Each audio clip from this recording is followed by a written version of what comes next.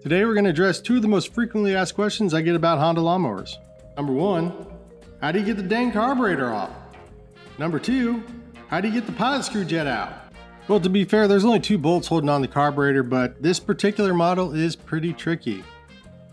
Not to mention all the gaskets you had to put in order.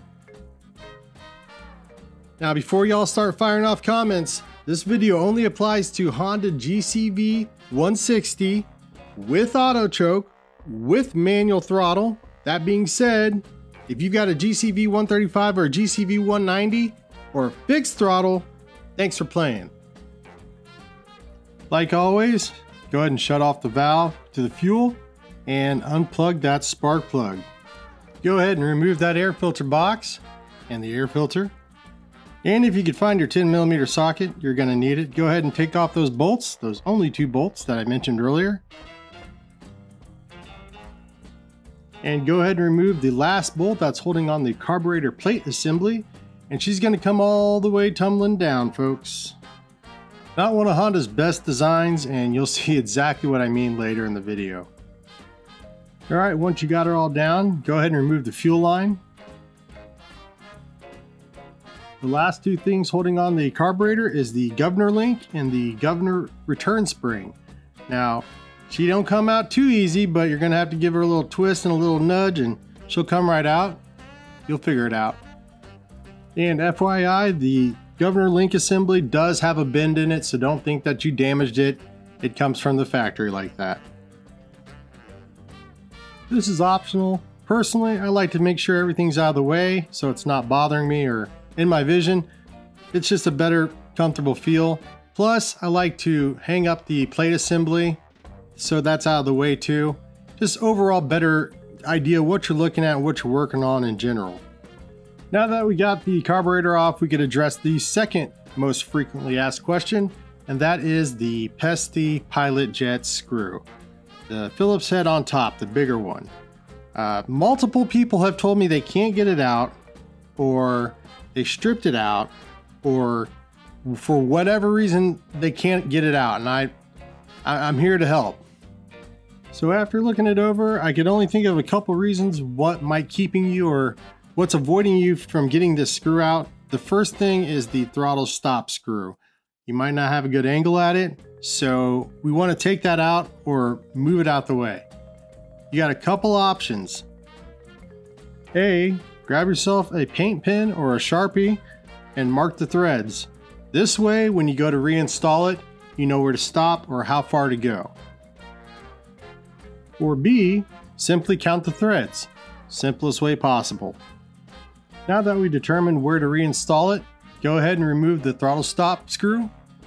Take it all the way out, just be sure not to lose that spring.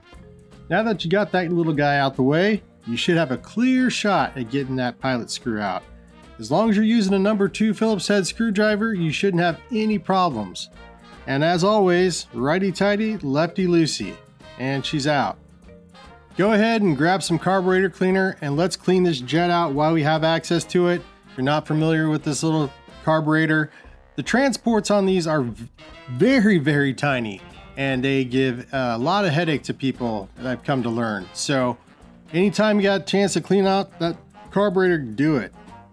All right, it's time to reinstall. Go ahead and reinstall the pilot jet screw access port.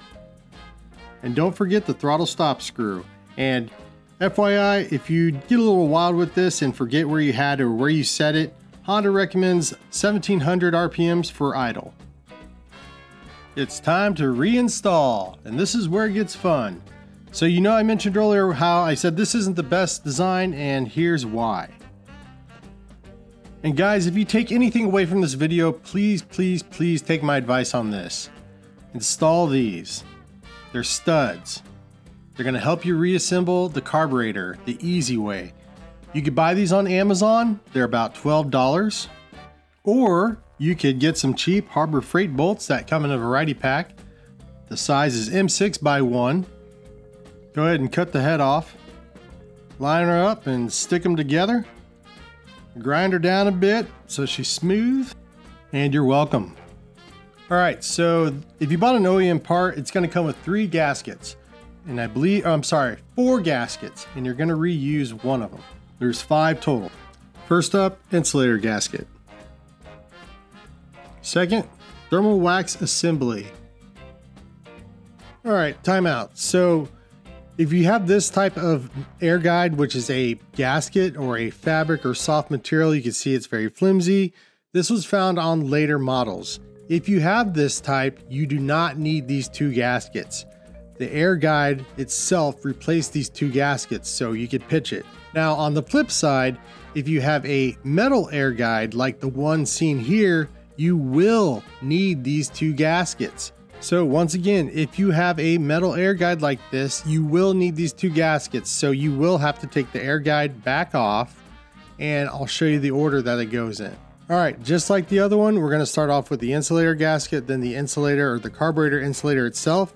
You'll notice on this one, it doesn't have the auto choke on it. That's why it looks a little different, but it's it acts as the same function. Then we're gonna add our first air gasket because we have a metal air guide. Next up, go ahead and install the metal air guide itself, followed by the second air guide gasket, and finally the carburetor assembly itself. Now everything after this step is the same, so let's do a quick review. Just remember, if you have a soft air guide, that is your gasket, no gaskets needed. If you have a metal air guide, you will need both air gaskets. Now that you determined which air guide you have, we can go ahead and move forward. The next thing is to install the carburetor assembly. On top of the carburetor, there's two holes for the governor link and the governor return spring. The larger hole is for the metal link and the return spring is for the return spring. Now, keep in mind, it's very important to make sure that the top of the carburetor, all the butterfly valves are moving freely.